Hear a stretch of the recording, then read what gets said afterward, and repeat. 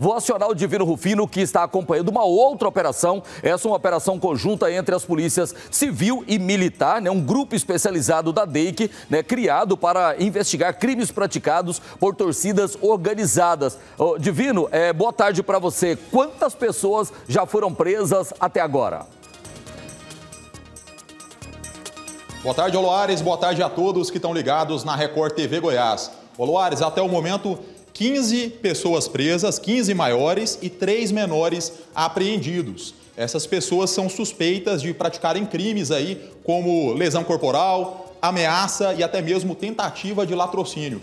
Todos eles membros de torcidas organizadas, né? Torcedores, na verdade, aí, fantasiados é, na verdade, criminosos fantasiados de torcedores. Né? Essa operação da Polícia Civil, Operação Avalanche, que envolveu mais de 100 policiais para cumprir aí mandados né, em Goiânia, Aparecida de Goiânia, Aragoiânia e também Araguarina, no Tocantins. Vamos conversar com o delegado Samuel Moura, que vai trazer mais detalhes para a gente dessa operação. Doutor, boa tarde. 15 maiores presos, três menores apreendidos. Tem casos bastante conhecidos, né, praticados por esses suspeitos aí, que a gente divulgou, inclusive na Record TV, aquele caso do motorista que estava conduzindo ali é, torcedores e o ônibus foi atacado com pedradas. Boa tarde. Boa tarde, é isso mesmo. Desde, desde a criação é do GEPROS, que é o grupo nosso especializado, especializado nesse tipo de, de investigação, esse sem dúvida foi o caso mais grave.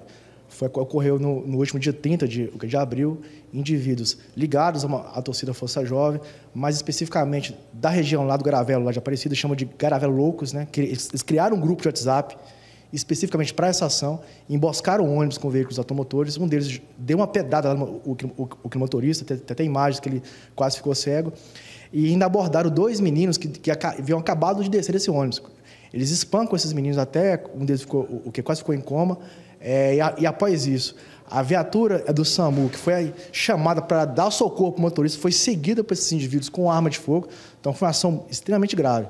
Então a gente iniciou essas investigações em troca de informações com o BEP, que é um batalhão sempre que, que ajuda a gente, o Ministério Público também, o que é um parceiro nosso. Identificamos 20 indivíduos, 16 maiores e 4 menores, conseguimos as medidas é, é, é, em relação a eles. E na manhã de hoje fizemos, fizemos a maior operação de Goiás em relação a esse tipo de crime. Foram presos até o momento 15 pessoas maiores e três menores foram apreendidos. Apreendemos o veículo, que é o Fiat Mobile, que aparece nas imagens, que eles fazem abordagem desses meninos, armas brancas que eles utilizam nessas agressões, vários aparelhos celulares que a gente conseguiu análise, já tem essa Inclusive, o vídeo que, que, que eles se, se, filmaram seguindo a ambulância e, e, e, estão nos celulares. Então, são indivíduos que, na verdade, são, é, é briga de gangues. Né? A gente pode nem falar que, que, são torcedores. Um deles me disse que tem um ano e meio que não vê o jogo, o jogo lá do time dele. Então, a, a diversão deles não é o, é o esporte, é briga mesmo. Doutor, o senhor citou o vídeo aí, né, que os próprios suspeitos fizeram. Vamos só trazer aqui o contexto, né? Depois que eles apedrejaram o motorista do ônibus, que estava levando alguns torcedores do Vila, aí o SAMU veio fazer o socorro desse motorista e eles começaram a perseguir essa ambulância achando que tinha um torcedor do Vila lá dentro. E eles estavam com uma arma de fogo, gravaram um vídeo fazendo chacota da situação, falando que iam tirar a vida desse, desse sujeito. É isso mesmo. Aqui, aqui na, do, do, durante o enquete a gente ouviu tanto a é o motorista da, da, da viatura como a, a, a enfermeira estava apavorada nesse fato. Eles tiveram que parar o socorro e entrar dentro do batalhão, do batalhão da PM para pedir ajuda. Então, são indivíduos que extrapolaram todos os limites. Então, foi uma repressão forte. A Polícia Civil quer, é, quer mandar um recado para quem, seja de qualquer torcida, seja do, da Força Jovem, seja da, do, do Esquadrão, qualquer outra, que, se, que serão tratados de acordo com o que fizerem.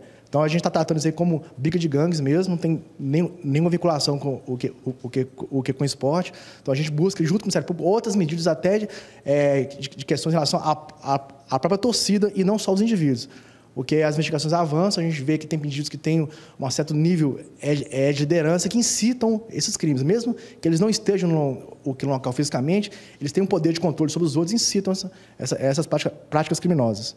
Esses menores apreendidos, eles têm que idade e como que fica a situação deles, né? Os pais, por exemplo, podem ser responsabilizados? Seguinte, do, é, são quatro menores, hoje, hoje a gente pegou três, três deles, dois deles hoje já são, inclusive, é maiores. Só que com relação à legislação, eles respondem pela data do o, o que do crime. Então, é, eles vão ser ouvidos em relação às infracionais. A gente sabe que, que em relação ao menor é um pouco mais difícil, até que a, a questão da a privação de liberdade, mas sim, especificamente porque o, o ônibus, te, o, o, que teve dano, então, o, o, o que tem questão patrimonial, o motorista ficou sem trabalhar. Então, são vários fatos que, que sim, eles podem ser é, responsabilizados. Doutor, quais foram os objetos que vocês encontraram na casa dos suspeitos presos hoje, inclusive armas brancas? Isso, várias armas brancas, canos, madeiras. Eles pegam algumas armas brancas e, e, e põem fita, vinculados à, à sua torcida. O veículo né, que, que eles usaram nessa emboscada, é, os, os, os, aparelhos celulares, né, que, que, que, a gente, que a gente fez essa vinculação, e munições de arma de fogo. E aí eles agiam de que forma? Pegavam esses objetos, essas, essas armas brancas, é, e aí iam para as proximidades de estádios, nos dias de jogos, para atacar a equipe rival. Na, na verdade, é um pouco diferente. Geralmente, essas ações ocorrem bem longe dos estádios. O que eles fazem? Fazem um estudo prévio, escolhem um dia, um dia específico.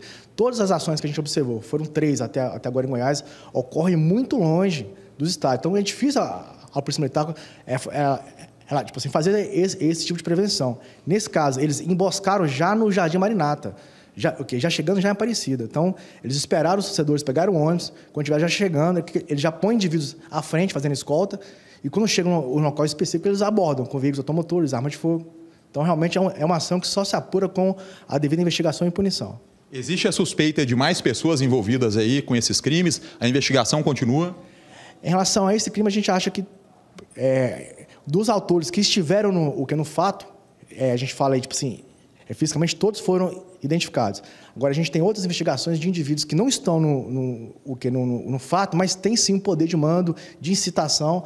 Então, é esse aí é o, é o nosso próximo foco.